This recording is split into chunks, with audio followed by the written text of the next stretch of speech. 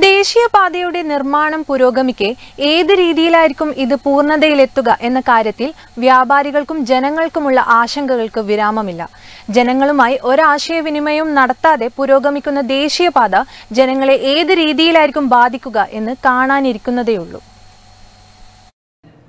വാഹന ബാഹുല്യം കൊണ്ട് ഞെരുങ്ങുന്ന സമയത്താണ് ഒരനുഗ്രഹം പോലെ ദേശീയപാത വരുന്നത്. ജനങ്ങൾക്ക് ഏറെ അനുഗ്രഹമാകേണ്ട ദേശീയപാതയുടെ വികസനം ഇപ്പോൾ ജനങ്ങളിൽ ഉണ്ടാക്കിയിരിക്കുന്ന ആശങ്ക ചെറുതല്ല.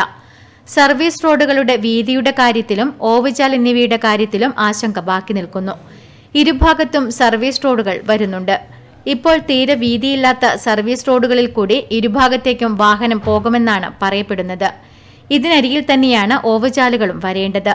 പാർശ്വഭിത്തിയും വരുമെന്ന് പറയപ്പെടുന്നു. നിർമ്മാണം പൂർത്തിയായി കഴിയുമ്പോൾ നിലവിലുള്ള റോഡുകൾക്കല്ലാതെ പുതിയ പ്രവേശനം വേണമെങ്കിൽ അഞ്ചു ലക്ഷം രൂപ ദേശീയപാതയ്ക്ക് നൽകണമെന്നും കേൾക്കുന്നുണ്ട്. ജനങ്ങൾക്ക് ഒന്നിനും ഒരു വ്യക്തതയും കൈവന്നിട്ടില്ല. ഇനിയെങ്കിലും അതത് സ്ഥലത്തെ പ്രാദേശിക ഭരണകൂടങ്ങൾ ജനങ്ങളിലെ ആശങ്ക അകറ്റണമെന്നാണ് നാട്ടുകാരുടെ ആവശ്യം.